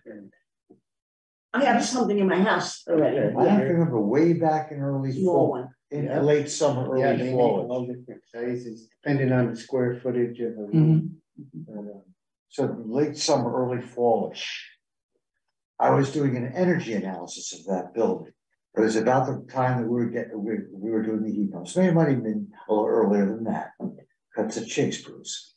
And at that point in time, I had gotten energy, energy cons- consumption before the heat pumps. From, I guess, Olivia, I've forgotten who I got it from, from. From Susie's. And I noticed that, I believe, I have it at home, I believe it was fifty-six percent of the consumption of electrical energy was coming overnight. Five, I think it was five to eight, four to eight, and I was like, what the hell is that? And I went, huh, air handlers without a Oh, freaking it's doubt. electric, that's what it is. And, Uh, and that, at that time. Um, I believe they were running way more. Hiram and I since cut it back to four hours a day, five days a week. They still have a pretty monster electric bill as the last one was because of the heat pumps now, which is replacing the gas, and we all know that. So. I called Pat and gotten his take on the whole thing, and you heard that. And then I emailed Hiram and I wanted to know what he was, was doing about the pneumonia hole. And, and then I also in the same email asked him, I don't know if he CC'd you guys or not on that. And I asked him, what's the feasibility? Oh, because I called Scott Bovat first. And Scott wasn't familiar with whether the air handlers were hooked up to the HVAC system. Mm. So he got to go to a plumber and he recommended Jefferson. I said, "That ain't happening." But anyway, so I said, well, I'll contact Hiram. And I told Hiram the same emails and pneumonials, is there a way for disconnecting it up? Disconnecting it, you know, repiping it with a drainage, you know, Mhm. you would. Put a pipe in between the in and out, put a, a, a drain in it and shut it off. Didn't hear back from him. And about a week ago, I was coming home and quote unquote was at Cynthia's house. And it looked like him walking in the building, so went, Bruce, sneaky Bruce, so I went in there. and we talked about it for about five minutes, and basically what he said. He wants an engineer to look at it. To feasibility, he also brought up the fact that we never got a quote on the gas boilers last year. And he wants, and then recommendation of filtration in there and all that, and I said, well, I'll let him spin his wheels, but he's not answering the question. And the question is whether I can disconnect that system and not have to worry about it. Sounds like he doesn't know whoever, whoever's gonna take responsibility for doing it. I would think would wanna run this by the party who inspects the school annually. At least, I think annually, to find out from them if whatever is gonna be utilized as an alternative. Is approved by them, accepted by them, otherwise, it'll be, I don't hate to go out and spend the money. And have them and come in and say, oh, that doesn't meet our specs. Uh-huh. It's best to ask the question first. Well, If you don't buy it, you don't buy it. You buy it, you buy it, and you know it's. Okay, that's where the engineer comes in, I guess, that he's gonna have to take a look at it, I guess. Well, it- that, don't assume the engineer knows the statute. The engineer Okay. knows the volume, the amount of air you need to clean this thing out. Right, That's totally different than the question there's of is it legal and approvable? but nobody inspected, as far as I know. Well, the people who inspect the playground, who told us we didn't have enough wood chips, the people that asked for more asphalt to put be down, whatever it was that had to be done in the last six months. There are these little things that need to be looked at. I understand. Yeah, So what I need to do is I need to ask, I need to ask Steph and Olivia if these inspectors or inspect, when they inspect the building, do they inspect, inspect the heating system? I need to know that.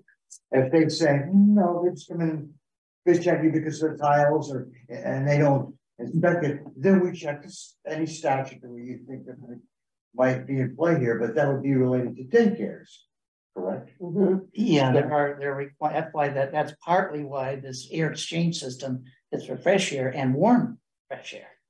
That, That that was- that's, that's required. yeah. Okay, So- that was set up for a school that's there now. Uh, And that's why I was pertaining to asking Olivia, and I haven't gotten a firm, firm answer. But the way I understand it is they haven't been doing it in other, in, in their other, I'm not sure. Yeah. In their other daycares. Because the other daycares are houses. They're not school buildings, they Uh, are ranches. That, that may be, but to me, uh, there, there are, I know there, there is a, there's a, uh. on the internet, uh, for the state website, there are requirements for daycare centers. Yeah. Whether Yes. or not they get to the extent of this building that was a school, but isn't now, still requires that. Is a, is a question that we even ought to entertain, because if it doesn't, then we're in the clear. Right, But if, if it does require something, then we can't the it. question becomes what is requirable? If we can shut this furnace down. with Not furnace. Yeah, Well, but there's heat that goes through that too, right? no. No, the- no, the air is heated from the outside that goes through it. So, so there's no, no longer any hot water pipes that go No, through up I in the didn't I attic. didn't- No, I didn't say that. Uh, you said air, the air is heated in a number of different ways depending on the situation. It Uh, depends on the temperature of the air, then, the Right. then, then, okay, then the hot water will either do it. Or the, or the, or there's twenty-four volt, uh, heater that will, will, will, will warm the air as well. so there's an electric unit and then there's the hot water. Yes, And the, and that's just controlling the temperature. That's And the correct. temperature can be disconnected separate from the air being brought into the building through the air handler. I suppose. When, when I was in the attic there and I saw them You were in pipes, good. the copper pipes going into this, you know, to units, Yeah. into this table. Yeah. Yes, And I'm thinking, you've been up there. the propane furnace is somehow heating this air up Yes, to be blown into each room. correct. That's a lot of propane to Yes, send fresh air. And then I got to thinking, I changed the air filters in each room coming through this ductwork. And a lot of times it's, it's disgusting to see wow, what's in these ductworks. yeah, And these little kids are in there breathe, throughout the, the whole year. The condensation that must build from cold to warm, mm-hmm. And then you've got mold mildew, you've got all this fuzz lint stuff. That each time I take, fill once a month, the filter needs changing. Yeah, And I'm thinking of how easy these purifiers are that stand, you know, this high and, and I had the opportunity to go into Newbrook. And I went into five different school classrooms Mhm. and I'm looking in the ceiling and in the walls for ventilation. Nothing, and I found, uh, one of those in each room. Mm, And so I looked it up Wow. and see how pure that it cleaned the air.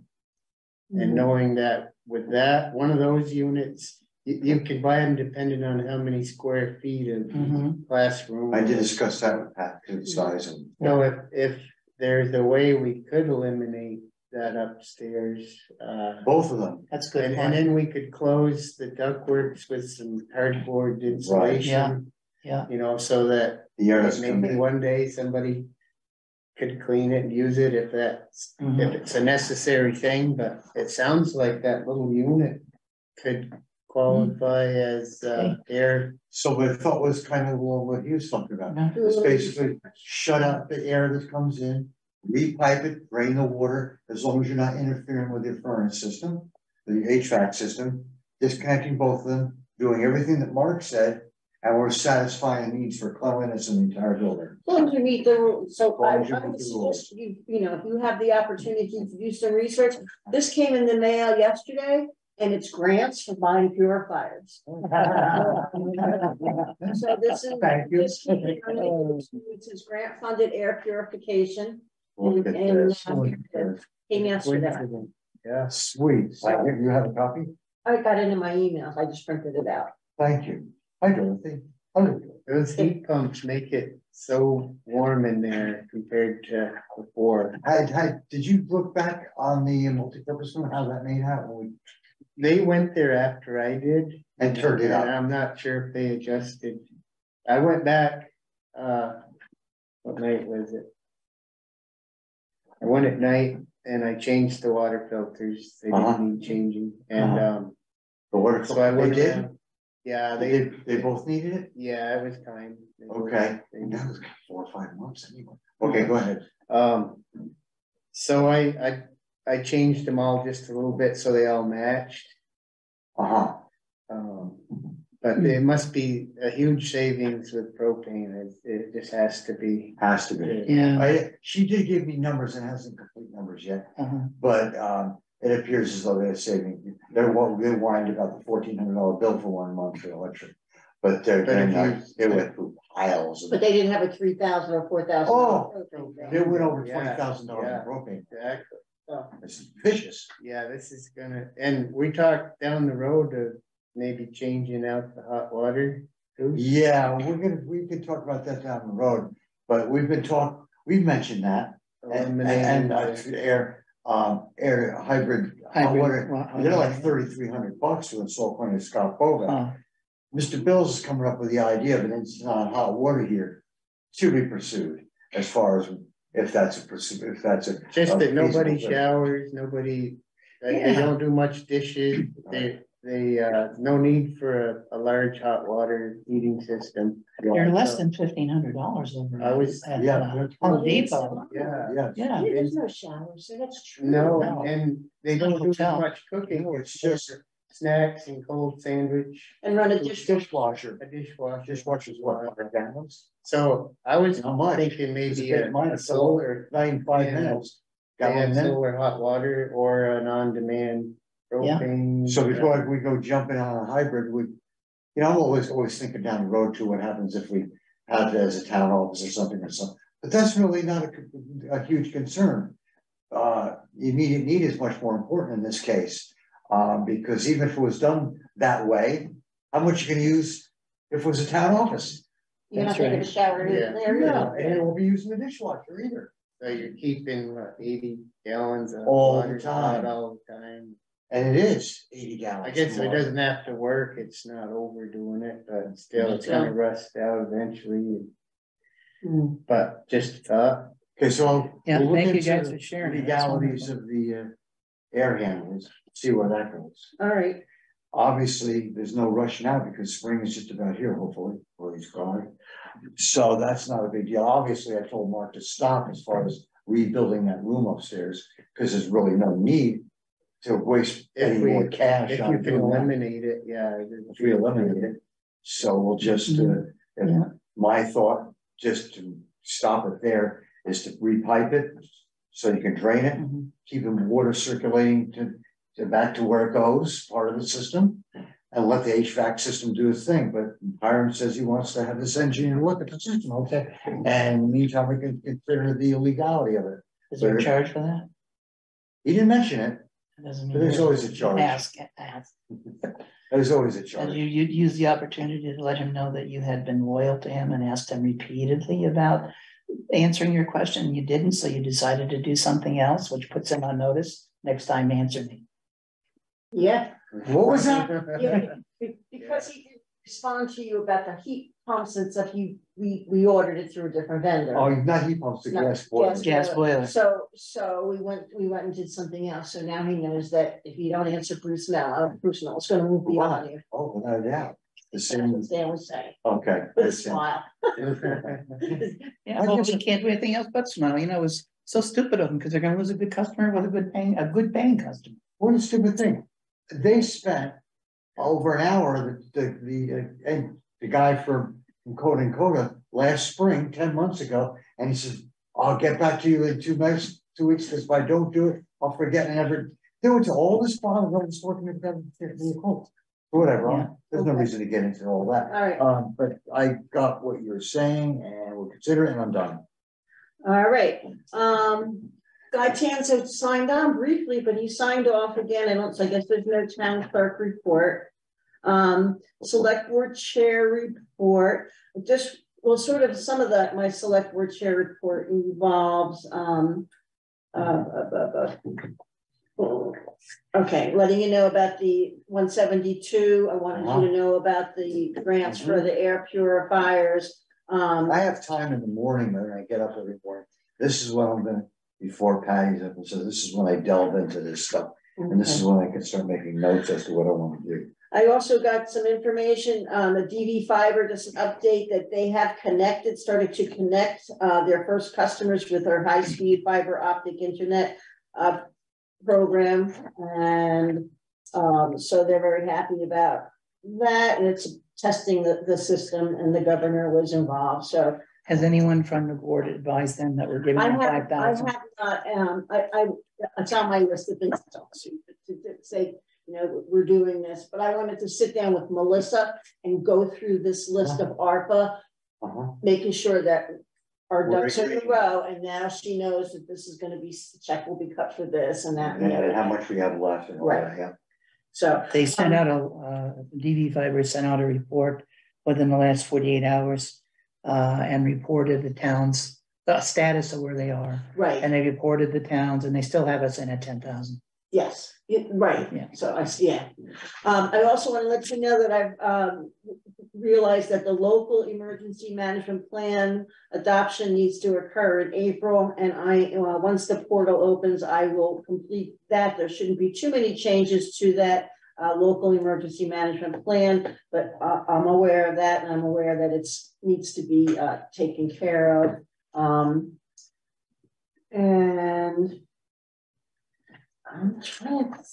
I think the rest of it will come under, oh, um, I have, uh, submitted the RFP, uh, to the Brattleboro Reformer and Windham Regional and several other companies that were recommended, uh, for the local hazard mitigation planning services that we got the BRIC grant for. So that's, that should be, uh, in the papers this week. It was in, uh, this morning. Okay, so it's gonna be um Wednesday, Thursday, Friday and Saturday.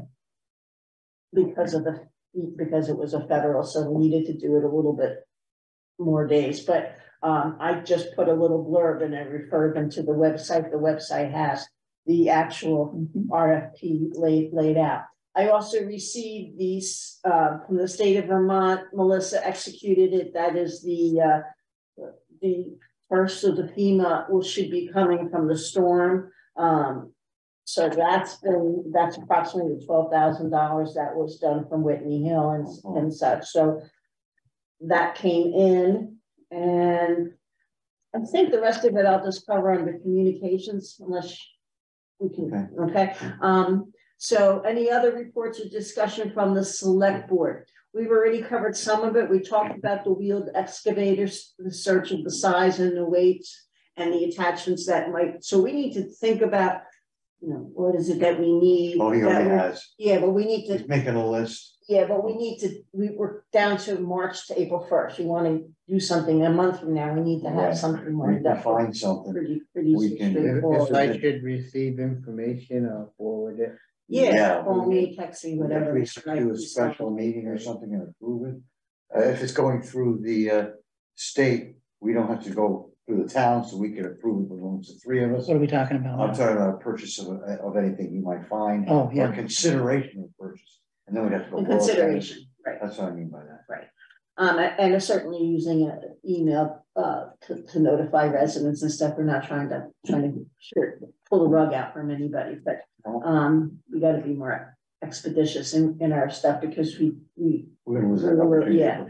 um, also wanna let you know, I think it was shared that the Brattleboro, uh, Brookline Meeting House, uh, building condition assessment, uh, by John Stack, Secoshia? Sakosio, uh, there was an email that they sent, that, that he was the one that was recommended, he was the same one that you had found that was in Brattleboro. Right, And there is some kind of a grant that they are looking to get that, uh, uh, conditions assessment. It's like Lewandowski, new, new, new one. So We got a grant for that. that, that's what they're, Preservation Trust. that's what they're working on right now. So that would be, um, two other things from the select board. Um, if there's nothing else, any other discussions that you want to have at this time? Yes, sir. there was a gentleman who uh emailed me, uh, there was interest expressed. In terms of our executive. Assistant to the select board, there may be interest in that person doing that. The same person indicated that he might also be interested in doing the minutes to the select board meetings. Uh, but he didn't make any, any firm commitment.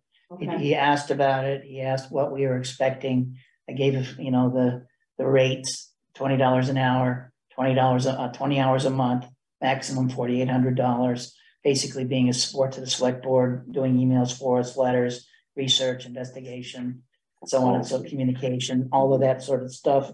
And, uh, so, uh, they asked how long it takes me to do the minutes, I told them three and a half to six hours. That's what it's been, varying on how long we meet. Uh, and, uh, uh, and then, of course, they've got those they can look at on our That's website. So, so, uh, that's, uh, that's something that we, I didn't know about till today, that that person, you made, make mention that you knew of someone that might be interested. So I thought I'd piggyback on your, your, your, uh, exposure of uh, not mentioning names, but if there is another person out there, That would have just been for possibly taking some minutes. okay. Um, but, uh, Well, it's not worth knowing. If this guy doesn't want to do it, it's nice. to know correct, another- correct. Um, but, but, uh, Is our rate not high? Based on a person sitting here in on a three-hour meeting and then try transposing it to paper. we, we pay, well, for the Seventy-five. for seventy-five for, for the select board minutes twice a month. And, uh, as far as administrative assistance. No, I'm assistant, talking about just, just, uh, um, the, uh, the min, the minutes. It averages five hours at fifteen dollars, comes out to seventy-five dollars. Okay, Do I like doing it? Absolutely. Eh, Since I'm here already, uh, you know, to me, I'm going through it a second time, which frankly, I find helps very you a little helpful. bit. Yeah, I, I realized how well that did uh, in the last meeting. I mean, that was a very difficult meeting for all of us. Uh-huh. And, and, and when you look at it as a, you know, after having slept a few days, not even thought, thinking about it, and you watch it, it was well done. And so that, that was good to see. And there were things that, you know, as I'm sitting here thinking about something that per- person A says and then someone else offers, and you're trying to put this together and you want to offer a comment, Yeah, yeah. sometimes you just want to listen and understand it. You, it's, it's difficult to make sure you don't miss anything. So I find looking at the video is really, really good. Huh. I get the whole thing over again. I can sit there and I got a laptop here that's playing the video and I have the it. other computer with the speaker can that I can, it. that if I don't wanna type it, I can dictate it in. Uh-huh, So it's start, and if I didn't get it, I can go back, yeah, play it again. yeah, So that ability to, to play and replay, stop and start is just fantastic. so you feel five hours is, is reasonable at fifteen dollars an hour? but you also have to realize, I could cut time and just be a lot more abbreviated, but, Right, but what I find with, the- with other minutes that have happened, and that's not to put anybody down. Mm-hmm. When you're mentioning under a topic, three, four, five different items and you reference it, but you don't indicate what the conversation was. It's hard to put some of those thoughts together. What was really talked about there? Sure. So I don't mind doing what I'm doing, Okay. because I've had people email me and say. I like what you're doing, I I like understand. that, I like that, So No, that doesn't mean it's better than somebody else's, it just means that right, I understand it better saying it that way. It jogs my memory and anyone else who wants to read the minutes as to what happened. And, and the- the opportunity existed if you were misunderstood. To say, you know, I hear where you're going, I, I was close to what you said, this is what I really intended. You know, so there's a way of correcting and making things more Right. understandable for the public. I That's found this easier to read. I went through, read the whole thing with little, little scripts here and there. Oh, God, it'd take me fifteen minutes to go through that. Never before has it taken me fifteen minutes, it takes longer. Mhm. After Page after page, this, for some reason, the way you format it was just easy for me to read. I don't know why, but it just was more explicit and to the point. Um, anyway, I liked it better, even, yeah, Thank you. I like Peter, I liked it better than Peter. So if you are not a member of the select board and you are separate and you're watching that, you can be typing at, and at the same, during the time, instead of going through it twice. Uh, But, you know, that, that you get to get some skill level developed. I mean, the Uh-huh. first, first time you do minutes, the t- second time you do, you know, Well, you've been, Peter never really watched the minutes, did he? Unless he had to. Unless he had to. He was just, he just did he worked it that, that way. Yeah, that's, um, he has exceptional talent, not Yeah, yeah. many people can do that. That's right. Pat and I were talking about at home and she I'll said, you know, when we have minutes at some of our meetings, she says there are certain people who can be talking, typing and understanding Right. everything and have the minutes for you the next day. Right, that's what Peter. I'm not that, I used to be, but I'm not anymore. Good habit. All right, I'm Okay. gonna move on a little Yeah. Um, so we're down to, anything else under, any other discussions for the select before we go into communications? Oh, uh, the Goldman and the That's- the legislators thing, okay, is that coming up? Okay, do that, yeah, yeah. Okay, Okay, under communications, we did get um an email from the Vermont Bond Bank with that information in it, um, and and. So we're gonna work, work with that, That's Um, April first, that one. correct. We, there's also, um. Okay, that's the one I just attended. Okay, my bond bank essential select board training opportunities. Once we have some, if we get some new select board members elected next week, there is a, uh, uh, uh, in fact, we went to, we went one year to Rutland. And to, yeah, Sherry Rogers and I Right. together. Talk about that. but there is a select board training time it's been a while, opportunities I can do it. for a new people. Um, we did get the A and R permit portal notice. Guy had sent us an email saying he wasn't sure if it was, uh, uh. What's it called, scam or scam or not, but I went into it and it's, it's the portal with our, the new portal.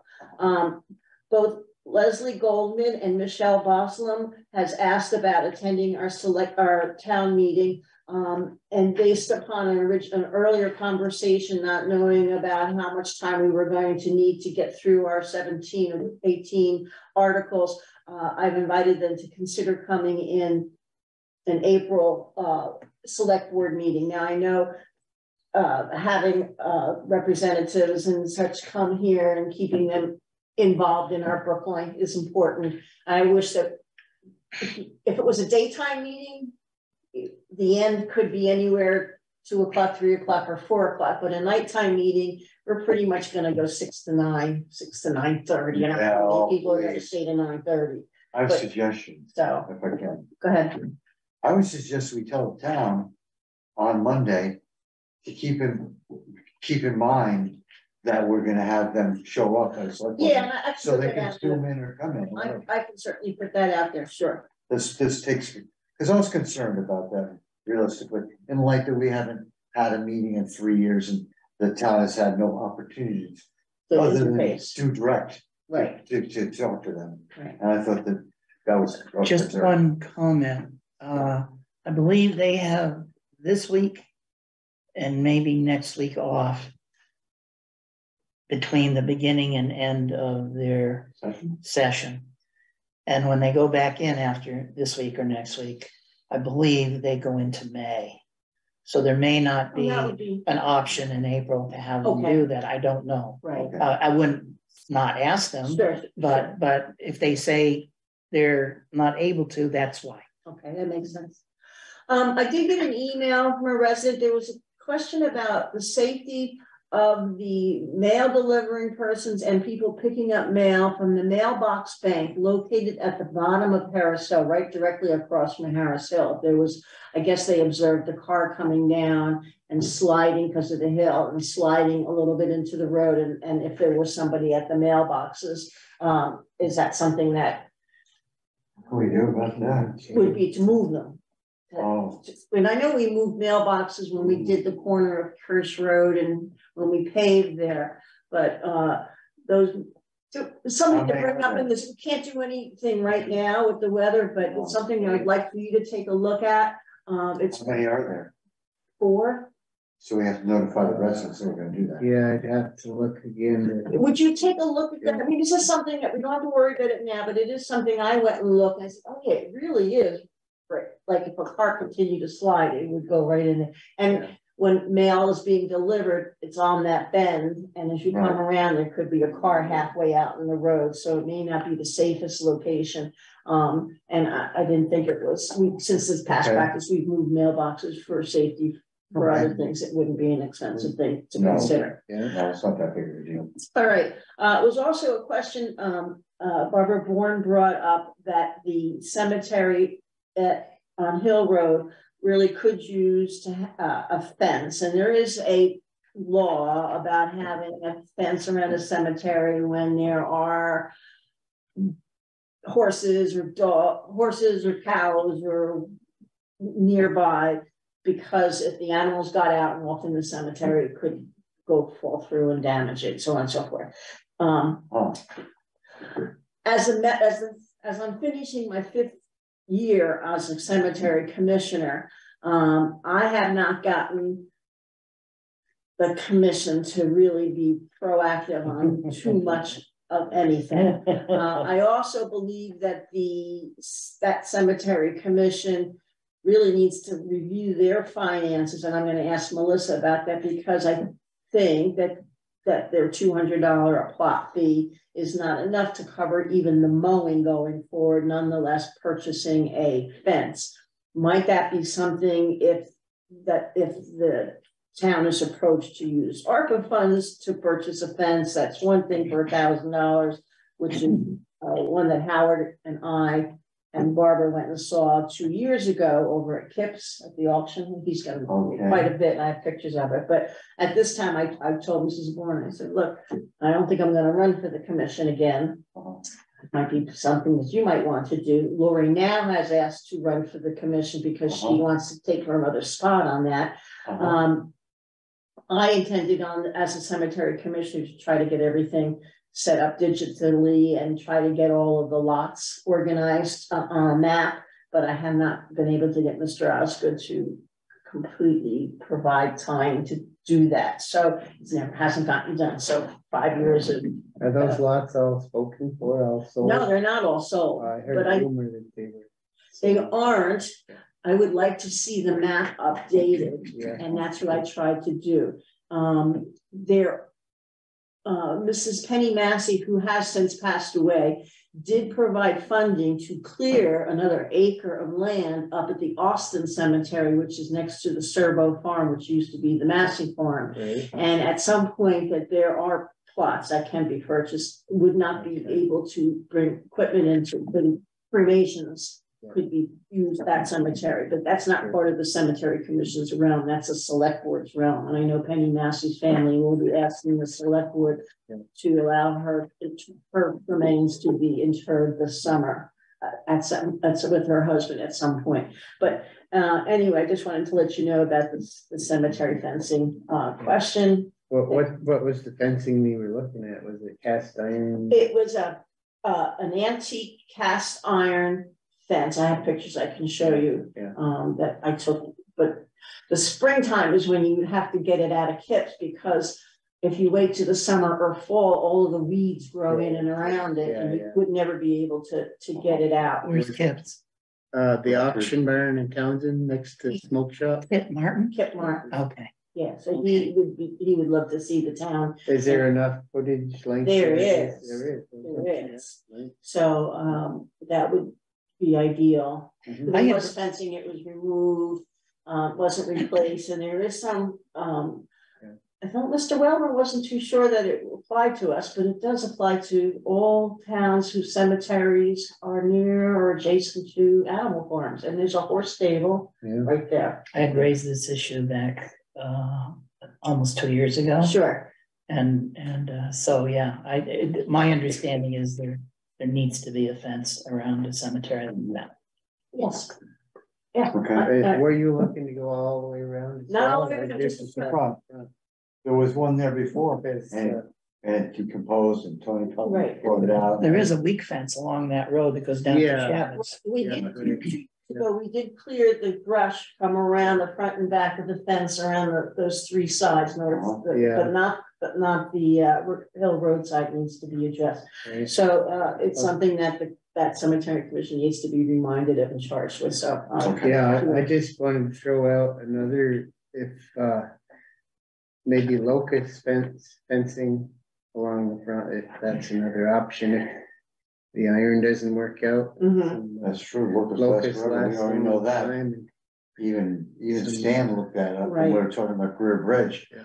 Second hardest wood in the world, Yeah, remember that? Yeah, When you yeah, looked that up, I remember that all these years, my memory worked. Well, we have some, don't we, left over from, Oh, we we have. were thinking uh, using that as a fence, it yeah. goes like fan field. I think there's still have some? I don't know how much. four or six, uh, twenty footers left there. Oh, boy, Yeah.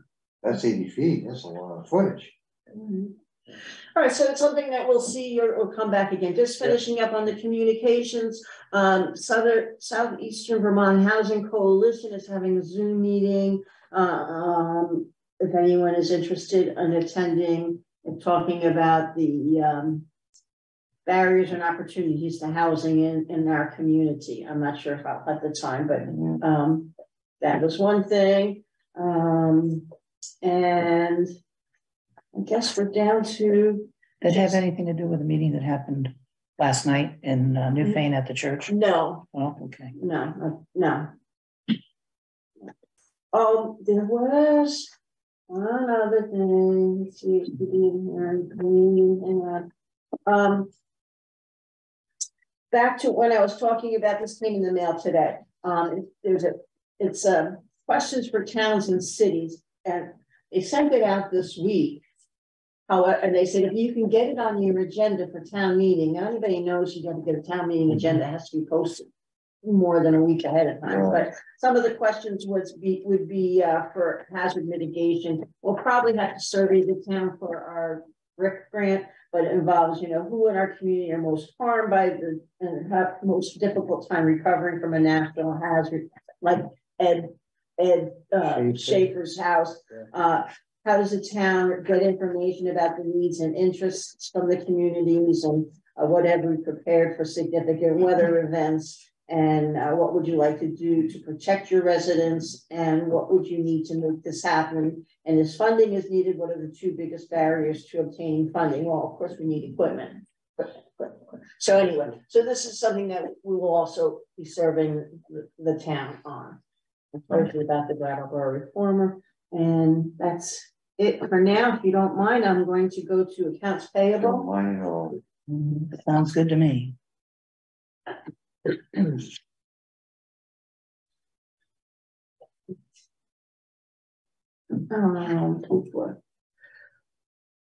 All right, let me look at mine, because I need notes on mine, this is the. first one. Okay, all right, this is it. All right, um, and I'll modify it during discussion. I'd like to make a motion to approve check warrant number twenty-three thirty-four dated March first, twenty twenty-three in the amount of ten thousand eight hundred sixteen dollars and sixty-nine cents. May I have a second? Seconded by Mr. Mello. Any discussion? My discussion is that the hauling of stone check number sixteen eighty-seven in the amount of twenty-eight hundred dollars. And the quarry stone, oh, okay, quarry stone was listed as summer highway material, so that's fine. The hauling of the stone, the service of hauling of the stone by A.S. Clark and should be moved to summer services, correct? Yeah. Okay. So with, that's the only modification I would have on here. Any other questions or discussion? Hearing none, all those in favor of approving accounts payable twenty-three thirty-four in the amount of ten thousand eight hundred sixteen dollars and sixty-nine cents as amended. Please signify by saying aye. Aye. Aye, motion passes. Okay, David Jones will be asked to come and sign the checks because Melissa is out of the country at this time. What's she? They can. Where? I think it was, I think it was NASA, going up, up to the moon. I've been watching a lot of NASA lately. Yeah, They're going to the moon next year. Yeah, well, see, they should have been training. Yeah, okay. Well, maybe totally said that. What what do you think is fair? I'm right, just trying to be humorous at the end of a long services. day. So I'll have you sign that. Oh, and I did ask again, uh, Judy, about the invoice amount and statement amount for the salvage, and she says that by paying the invoiced amount, sometimes they send bills and by paying it the invoiced amount, it works out at more accurately, even though it looks inaccurate on here. Because we'll sign a check this week for, there's two checks this week, so the. It just keeps compounding. By paying the actual invoice amount, it's best for her to keep track of everything. And they're, they find that also acceptable. To do it that way, so. Thank you for following up. All right, payroll warrant. I'd like to make a motion to approve payroll check warrant number twenty-three thirty-five dated March first, twenty twenty-three in the amount of one thousand nine hundred eighty dollars and seventy-seven cents. May I have a second? Second, Seconded by Stan Noga. Any discussion? Hearing none, all of those in favor of approving payroll warrant twenty-three thirty-five for one thousand nine hundred eighty dollars and seventy-seven cents signify by saying aye. All right. Aye. Aye. Okay, motion passes unanimously. Please sign this. Okay. The agenda for the March fifteenth meeting will consist mainly of the reorganization agenda for the appointments uh, for the select board. Yes. Um, we will also be opening the bids for the BRIC grant for the hazard mitigation program. Um, we will also, I want to make sure that we re-vote or completely vote for the fifteen thousand dollars from the Brookline Meeting House in case it was not clarified on that meeting and, and anything else that may come up about us at this time. Okay. All right, um, if there's nothing else, I'd like to make a motion. I'm gonna adjourn the meeting. The meeting is. A. It's at eight forty-four. A second.